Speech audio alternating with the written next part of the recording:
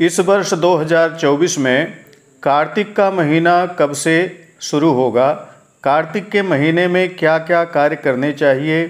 कार्तिक महीने में पड़ने वाली संकष्टी करक चतुर्थी अर्थात करवा चौथ, अहोई अष्टमी, श्री राधा जयंती, रंभा एकादशी, प्रदोष व्रत, मास शिवरात्रि व्रत यम पंचक का प्रारंभ, धनत्रयोदशी अर्थात धनतेरस, दीपावली हनुमान जी का जन्म नरक चतुर्दशी, कार्तिक अमावस्या, अन्नकूट, गोवर्धन पूजा, यमद्वितीया, भैया द्विज, बैनायकी श्री गणेश चतुर्थी, सूर्य षष्ठी डाला छठ व्रत, गोपाष्टमी, अक्षय नवमी, प्रबोधिनी एकादशी, तुलसी विवाह, चातुर्मास व्रत का समापन, वैकुंठ चतुर्दशी, कार्तिक पूर्णिमा देव दीपावली आदि व्रत कब पड़ेंगे? इसकी प्रामाणिक जानकारी आपको इस वीडियो से प्राप्त हो जाएगी।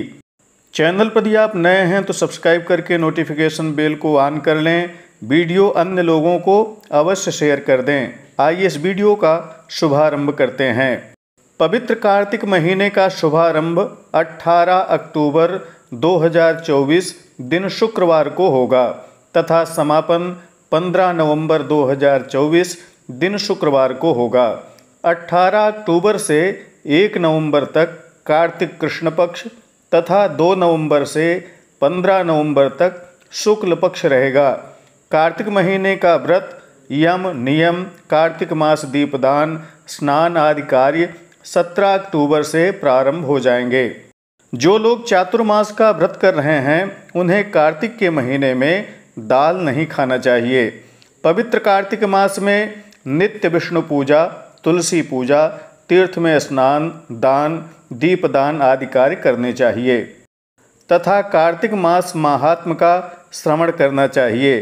कार्तिक मास महात्म की वीडियोज़, कथा आदि आप लोग सुनना चाहते हैं तो कमेंट में अवश्य बतलाइएगा।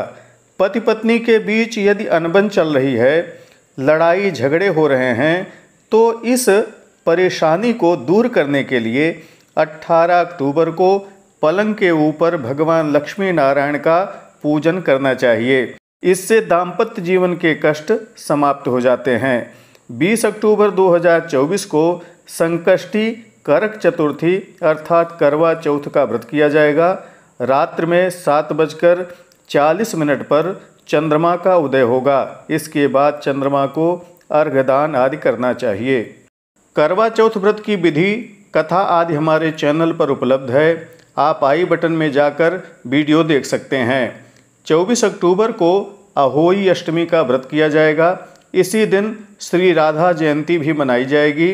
28 अक्टूबर 2024 को सभी लोग रंभा एकादशी का व्रत करेंगे।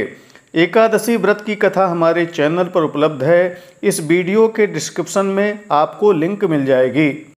29 अक्टूबर 2024 को धनतेरस, धनत्रयोदशी का व्रत किया जाएगा। इस दिन धनवंतर जयंती मनाई जाएगी तथा सायंकाल घर से बाहर अपमृत्यु के नाशार्थ चार बत्तियों वाला दीपक यमराज के निमित्त दान करना चाहिए। इसी दिन भौम प्रदोष का व्रत भी किया जाएगा। जो लोग कर्ज से परेशान हों, उन्हें मंगलवार के दिन पड़ने वाले प्रदोष के व्रत को करना चाहिए। 30 अक्टूबर को मास शिवरात्रि का व्रत किया जाएगा। सायंकाल मेष लग्न में हनुमान जी का जन्मोत्सव मनाया जाएगा। नरक चतुर्दशी रूप चौदस आदि मनाई जाएगी। इस दिन से यम पंचक का प्रारंभ होगा, जो कि पाँच दिन चलेगा। इस दिन भी यमराज के लिए चार बत्तियों वाला दीपक घर से बाहर जलाना चाहिए। 31 अक्टूबर 2024 को प्रदोष काल में अमावस्या तिथि प्राप्त होने से दीपावली मनाई जाएगी। प्रातःकाल यम तर्पण, हनुमान जी का दर्शन पूजन किया जाएगा। इसी दिन लक्ष्मी इंद्र कुबेर आदि की पूजा तथा दीपोत्सव मनाया जाएगा। रात्र के अंतिम प्रहर में दरिद्र निस्सारण किया जाएगा। अर्धरात्रि में भगवती महाकाली की पूजा की जाएगी। बहुत से स्थानों पर दीपावली को लेकर भ्रम बना हुआ है। कई जगहों पर इसे एक नवंबर को मनाया जाएगा। परंतु काशी के पंचांग के अनुसार 31 अक्टूबर को प्रदोष काल तथा रात्रि में अमावस्या प्राप्त हो रही है, इसलिए दीपावली इकतीस को ही मनाई जाएगी। एक नवंबर को अमावस्या सायं पाँच बजकर तेरह मिनट तक ही है। इस दिन प्रदोष और निशीथ दोनों समय में प्रतिपदा होने से दीपावली इकतीस को ही करना श्रेष्ठ रहेगा। एक नवंबर को तीर्थ स्नान दान तथा श्राद्ध आदि किए जाएँगे। इसी दिन कार्तिक कृष्ण पक्ष का समापन होगा। दो नवंबर को कार्तिक शुक्ल पक्ष का शुभारंभ होगा। दो नवंबर को ही अन्नकूट मनाया जाएगा। काशी से अन्यत्र जगहों पर गोवर्धन पूजा की जाएगी। तीन नवंबर को काशी में गोवर्धन पूजा होगी। यम द्वितीया भैया द्विज आदि मनाया जाएगा। बहन के घर भोजन तथा वस्त्रादि से बहन की पूजा तथा यमुना में स्नान इस दिन करना चाहिए। पाँच नवंबर को बैनायकी श्री गणेश चतुर्थी का व्रत किया जाएगा। इसी दिन से सूर्य षष्ठी व्रत का आरंभ होगा। छः नवंबर को सूर्य षष्ठी व्रत का द्वितीय दिवस रहेगा। सात नवंबर को डाला छठ का व्रत किया जाएगा। सायंकाल सूर्य को अर्घदान किया जाएगा। इस दिन स्कंद षष्ठी व्रत, सूर्य षष्ठी व्रत डाला छठ व्रत आदि किए जाएँगे। आठ नवंबर को डाला छठ व्रत का पारण किया जाएगा। नौ नवंबर को गोपाष्टमी का व्रत किया जाएगा। दस नवंबर को अक्षय नवमी का व्रत होगा। बारह नवंबर को सभी लोग प्रबोधिनी एकादशी का व्रत करेंगे। भगवान विष्णु का प्रबोधनोत्सव मनाया जाएगा। सायंकाल भगवान वासुदेव का तुलसी के साथ विवाह किया जाएगा। प्रबोधिनी एकादशी की कथा तुलसी विवाह मंगलाष्टक आदि की सभी वीडियो चैनल पर उपलब्ध हैं। आपको इस वीडियो के डिस्क्रिप्शन में मिल जाएगी।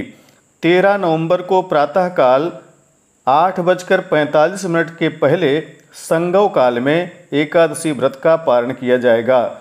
इसी दिन प्रदोष व्रत किया जाएगा। चातुर्मास व्रत का समापन होगा। दाल का दान किया जाएगा। नारायण द्वादशी, गरुण द्वादशी मनाई जाएगी। चौदह नवंबर को श्री बैकुंठ चतुर्दशी मनाई जाएगी, महाविष्णु की पूजा होगी, अरुणोदय काल में मणिकर्णिका तीर्थ में स्नान किया जाएगा, श्री काशी विश्वनाथ के प्रतिष्ठा का दिवस मनाया जाएगा, नर्मदेश्वर महादेव को तुलसी अर्पण की जाएगी। 15 नवंबर 2024 को स्नान दान तथा व्रत की कार्तिक पूर्णिमा मनाई जाएगी, त्रिपुरोत्सव मनाया जाएगा, देव दीपावली मनाई जाएगी। पुष्कर क्षेत्र में त्रिपुर को दीपदान किया जाएगा। इसी दिन कार्तिक मास का समापन हो जाएगा। 16 नवंबर से मार्ग मार्गशीर्ष मास का शुभारंभ होगा। आशा है वीडियो आपके लिए उपयोगी होगी। लाइक, कमेंट, शेयर करना मत भूलिएगा।